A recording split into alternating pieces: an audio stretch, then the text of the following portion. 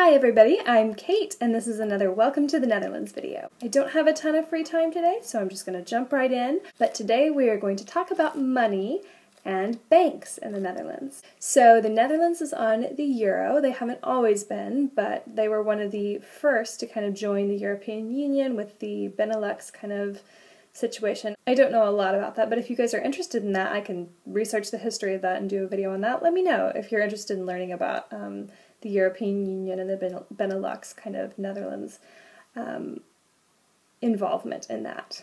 But anyway, so the Netherlands, like France and Spain and Ireland, and a whole host of other countries is on the euro, which makes it super, super easy to travel to other countries because you don't have to worry about getting your money changed um, or paying an exchange kind of rate.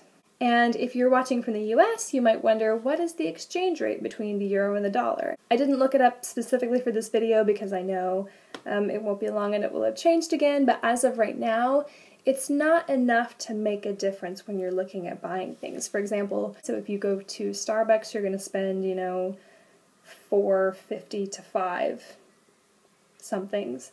Or if you go to dinner, you're going to spend 12 to 15 somethings dollars or euros. It's about the same. Even though it's not exactly the same, it's enough the same that you don't really think about it. And because of that, I've actually slipped up a few times and said, "Oh, our bill is you know twenty five dollars, or we're gonna split that." And someone and whoever I'm with is like, "Dollars? What?"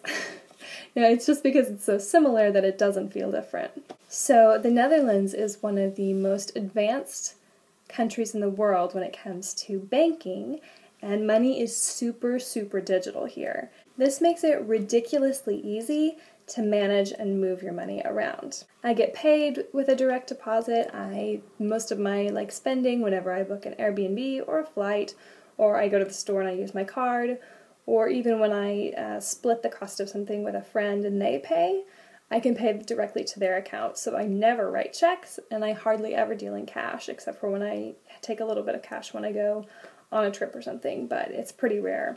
But despite the fact that it's really digital and really easy, um, it is really safe as well. So we have these little things called e-identifiers, so anytime you do any online shopping, you have to use this. Anytime you do any big transfers within your bank account, or um, even lately they've had us register our devices that we use for mobile banking, um, and that required this. So any kind of like interaction with your account or any amount of money that's moving has to be done with this. Essentially, what would have to happen for someone to steal your identity or steal your money is they would have to have your identifier, your card, and know your PIN number and your login information. So it's all these points that you have to have with you to manage your money. They would have to not just have one of those things, but all of those things that makes it that much safer. And as my host mom works for a bank, I know that they work continuously to make it freakishly efficient. That includes the doing away with of checks. I don't actually know when the last time they used checks was, um, but checks are not a thing here. If you need to send, if you need to give money to someone and you don't have cash, you just get the, their account information and then you send money directly to their bank account. And actually, as I said, with them constantly improving efficiency, this can happen instantaneously. So, um, my friend that I went to Italy with, there was a couple of times when she paid for dinner and I was like, I'll just pay you back. But instead of having to get the money for her or write her a check or something, I just transferred her the money and it ended up there instantly, which was really, really cool. So, as I said, you have your bank that handles all of your money you have your PIN card, and then you have your e identifier. I talked about that a little bit already. So, banks here are really great. Things are very straightforward. Um, the person that I talked to when I set up my account was, I mean, he spoke fluent English and he was very willing to answer all of my questions. So, I didn't really have a lot of trouble setting up my my money situation when I got here. And another thing that was really cool was with um, with accounts in the US, a lot of banks have a minimum balance where you uh, have to keep a certain amount of money in your account. And that's not the case here, which is really great for me as an au pair because sometimes I go down to very small numbers. So it's nice to know that I won't ever be penalized for having, you know, like 37 cents in my account. If you are an expat living here in the Netherlands, you should know that you need a BSN number to open a bank account. And that's basically just you get that when you get your residency permit or visa or whatever it is, whatever government documentation you need to live here. That comes with your BSN, and then they use that number to, it's kind of like your pseudo social security number. Um, and that's what you need to open a bank account. And it's after you get that, it's very simple. The other thing I wanted to point out is that it's quite common to have multiple accounts, um, which really, really deeply satisfies my compulsive need to organize things, which I only have the one because I'm not dealing with that much money.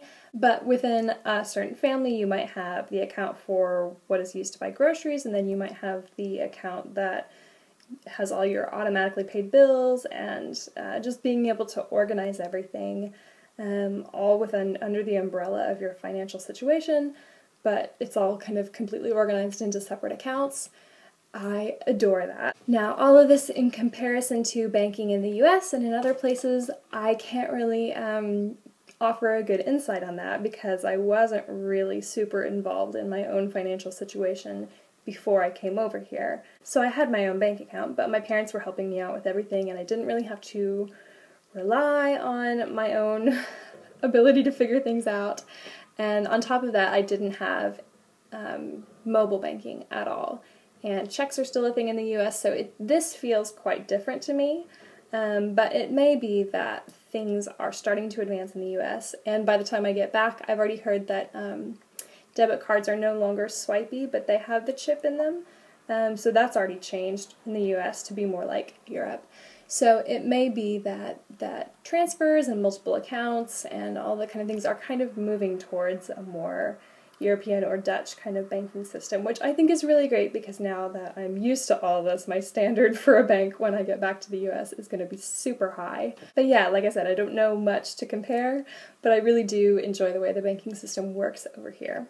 So that is all for right now. I'm going to let you guys go, but don't forget to give this a thumbs up if you liked it, leave me a comment, uh, share this video with someone that you think might be interested in finance and international living. We're getting to the end of March and I didn't quite complete my goal of doubling my subscribers, but there are quite a lot of new people here, so welcome everybody. And even though I didn't double my numbers, it's more than worth it to have you guys here. I'm going to try to get back to making videos more regularly. The last couple of weeks have been kind of crazy with Easter, and then we had family in town. And another update, if I haven't already mentioned it, is I'm going to Ireland at the end of April. So I'm sure there will be lots of videos connected with that, both packing for it and preparing for it, and the actual trip of Ireland. Um, so I'm extremely, extremely excited about that. Side note, Ireland uses the euro, and I am so happy about that because when I went to England for Christmas, I had to get it changed to the pound, and the exchange rate is awful. So I'm so glad that Ireland is on the euro. I'm so happy. But yeah, I guess that's it for now. I'll talk to you guys later. Doei.